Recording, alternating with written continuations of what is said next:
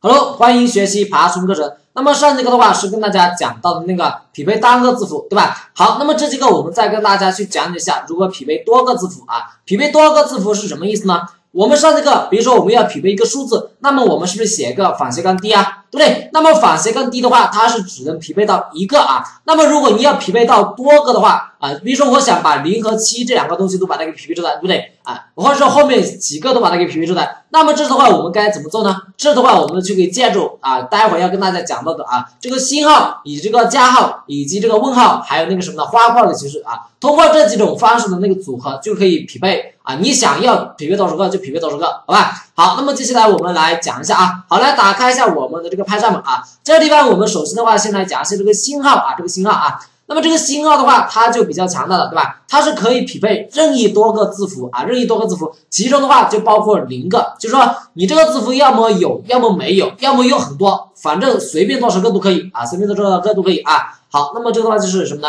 可以匹配啊，可以匹配零或者啊任意多个字符啊。好，那么我们这地方来把这个代码 Ctrl 加 C 复制本，然后来到这个地方来啊，这个地方我们 Ctrl 加把这个取消注释啊，然后我这个里比如说写个零七三幺啊零七三幺，然后这个地方我们写个什么呢？我们要匹配数字，匹配数字啊。那么我如果我们想要将这个里面所有的数字全部都把它给匹配出来，那么的话就可以写个星号啊。星号的话就是如果你这个里面哈有没有数字也可以匹配到，有数字。有几个数字，它就匹配几个数字啊。好，那么保存一下啊，我们加了一下，哎，这样的话就可以匹配到这个零七三幺了，对不对？那么如果这地方把零七三幺全部把它给删掉，留下个 A B C D，那么这样的话它会报错吗？它也不会报错，它也会匹配到，只不过匹配到的一个空的而已啊。好，这样的话也是匹配到的。它这个地方没有报错，对吧？没有报错，说明这个 ret 这个东西不是等于那，不是等于那，说明已经匹配到了啊。那么这个新的话，代表的是可以匹配零个或者是啊任意多个字符啊，或者任意多个字符啊，啊不任任意多个字符啊。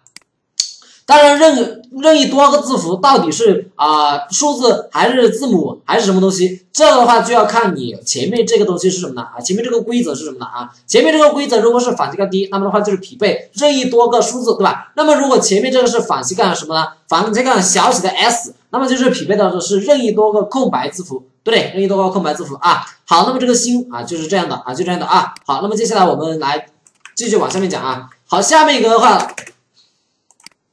这个地方来区分一下啊，匹配多个字符啊，匹配多个字符，好吧？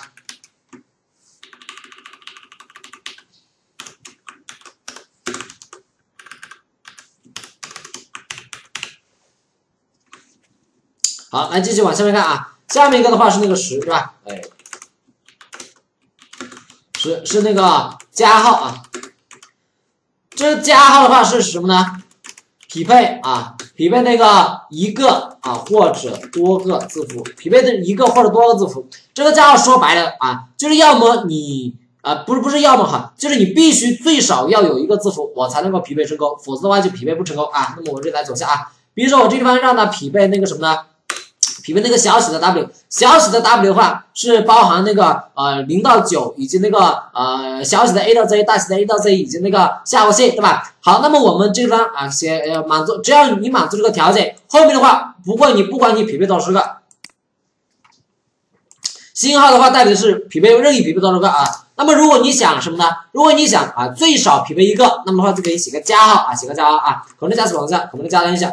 这样的话就可以把这个 A B C D 全部都把它给匹配出来了，因为加号的话，它就是说大于等于匹配的那个个数哈，大于等于，只要你这个里面前面这几个满都满足条件，那么的话它都能够匹配出来，都能够匹配出来啊。好，那么如果这地方啊，这地方给它一个加号，加号的话是不是不满足这个反金刚 W 啊？那么这样的话它就只会匹配到前面两个，明白是吧？我们来加深一下，哎，这样的话就只会匹配到 A 和 B 啊，只会匹配到 A 和 B 啊。好，那么如果这地方再把这个什么呢？把这个加号放在最前面。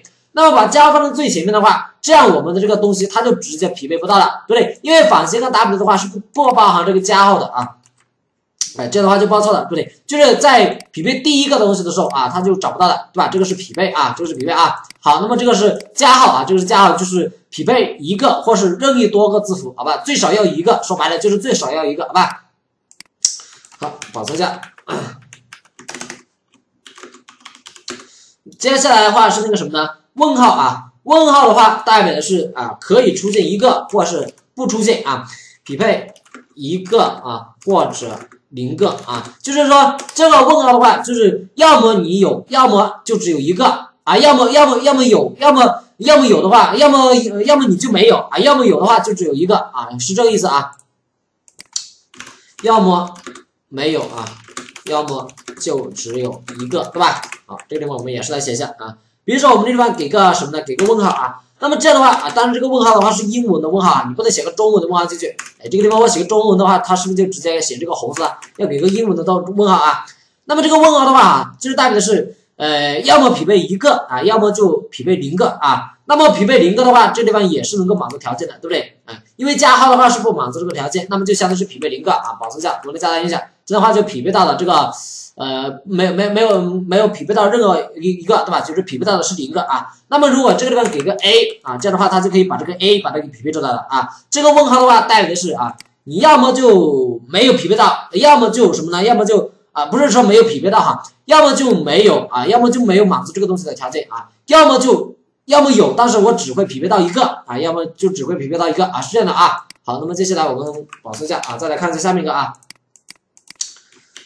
下面一个是那个那个花挂的其实 M 啊，M 的话里面给个数字哈，给个数字的话就可以给它指定具体要多少个啊，具体要多少个啊，匹配配 M 个字符啊，匹配 M 个字符，我们这个大家写一下啊，比如说我这地方啊想要什么呢？想要匹配两个。那么的话，它就只会把前面 A 和 B 把它给匹配出来，明白是吧？我们来加大一下，哎，这的话就只会匹配到 A 和 B 啊。就说你要匹配多少个，那么的话，你这个地方就写个几就可以了，好吧？好，那么这个的话就是匹配 M 个字符啊。接下来我们可能在 C 保存下，再来往下面走啊。接下来第十三个啊是那个 M 和 N 啊，M 和 N 的事是匹配什么呢？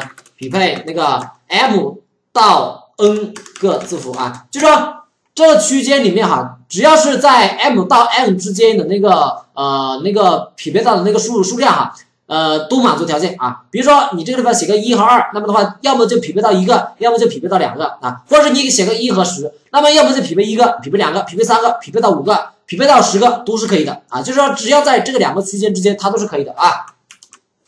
比如说我们这地方写个什么呢？写个那个一到啊不是一到哈，是一一和那个一和那个五啊。那么的话，一和五的话，就是一个也可以，两个也可以，三个也可以，四个也可以，五个也可以啊。但是的话，它可以，它是以那种什么呢？匹配最多的方式啊。如果你这个地方有四个字符的话，它就会匹配四个啊。好，那么这样的话就会把四个把它给匹配出来。如果这个地方给个再给个 A 啊，那么的话它又会把五前面五个把它给匹配出来。那么如果这后面你再加一个字符啊，再加个字符，因为它这边最多只能匹配五个，那么的话就只能匹配五个啊。就这个啊花挂的形式的话，写两个字符哈，就是匹配到。啊，m 到 n 个字符中间的那个数字都是可以的啊，中间的数字都是可以的，好吧？好，那么这的话就是匹配我们的那个多个字符，匹配多个字符啊。好，那么我们匹配多个字符的话，我们就讲到这里了。下节课我们再跟大家去讲，用这个之前我们学到的这些单字、单个以及多个这些东西来写一些小案例，好吧？来写一些小案例啊。好，那么这样的话，我们的这节课呢就讲到这个地方，感谢大家。